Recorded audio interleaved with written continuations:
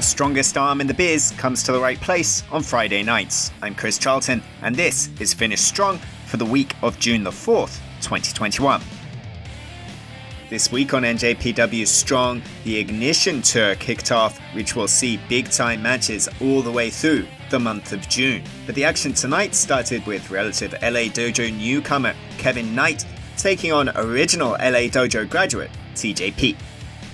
TJP scored Knight from the opening bell, but Knight was able to avoid a TJP dropkick and was persistent with the head scissors on the Filan Flash. Ultimately, though, that persistency came with a price a pair of boots to the face. When Kevin Knight missed his own dropkick, TJP was in full control until Young Lion exploded out of the corner and finally leapt to land an impressive dropkick and a slam. The TJP responded by washing the face of Knight and landing a suplex. Though Kevin Knight avoided the Mamba splash and hit a corner splash of his own, TJP was ultimately able to bury the knees into the midsection of the LA Dojo trainee and lock in a Cobra twist for the win. Second match this evening saw Barrett Brown face Adrian Quest in a grudge match that had been building for a while. It was all about how Barrett Brown's ego was getting in the way of his tag team with Adrian Quest. And it certainly appeared like Barrett Brown had made new friends entering, with Bateman, who was keeping a watching brief at ringside and lending some advice to Barrett Brown in the early goings. That advice didn't really seem to pay off as Adrian Quest consistently frustrated and showed up Barrett Brown in the early goings but 50 Caliber finally found some offense by spilling Adrian Quest to the floor and landing a lariat back inside for a two count. As Brown kept control of the match, Quest managed to find a brief break with a Hurricanrana for two, but again was sent to the floor where a vicious snap suplex connected. But young Fuego was able to will himself back inside and then connect with a spectacular springboard Frankensteiner to score big time damage. As the pace quickened, Quest connected with a shooting star off the apron to the floor, but back inside the ring, Brown was able to hit a shotgun knee for near falls of his own.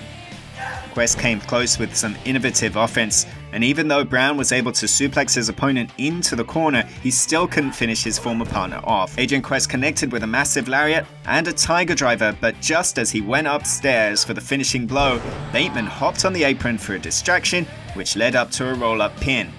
Surely it was a win that Barrett Brown can't be 100% pleased with, while Adrian Quest was 100% frustrated. Backstage, at least that was before he found an ally of his own. Well, what'd you have to do to get that win? Cheat?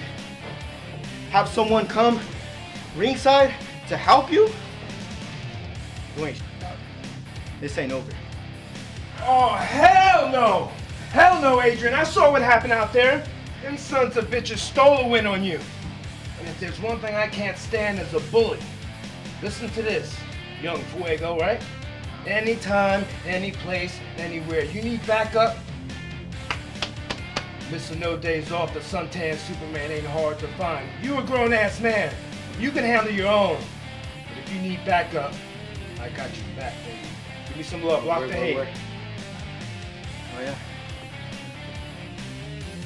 It was an all-star tag team main event though, as, as Karl Fredericks, who stepped up to become the number one contender for the Strong Openweight Championship last week, tagged with Satoshi Kojima against Team Filthy's JR Kratos and Danny Limelight.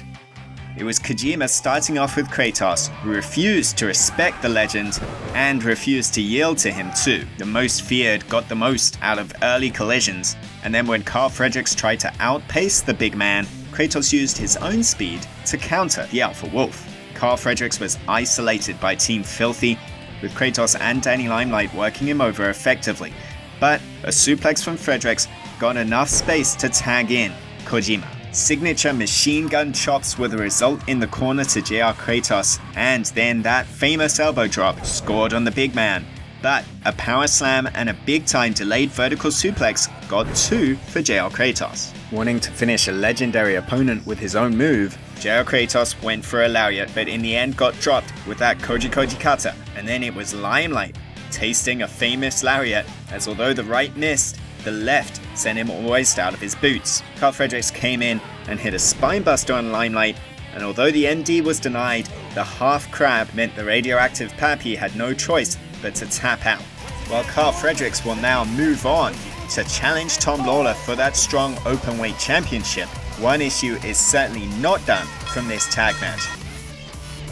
JR Kratos and Satoshi Kojima had to be pulled apart, and it seems a one on one meeting is inevitable down the road. Coming up shortly over in Japan, it is Dominion on Monday, June the 7th, with live English commentary. New Japan Pro Wrestling starts off the summer in style with major matchups in Osaka-jo Hall. Jeff Cobb faces Kota Ibushi. YOH and El Desperado collide for the IWGP Junior Heavyweight Championship, and we will determine a new IWGP World Heavyweight Champion when Shingo Takagi faces Kazuchika Okada. All of that action will be live and in English on the King of Sports streaming services, njpwworld.com. That's it, we've finished strong for another week. Until next time, go kigenyo, sayonara.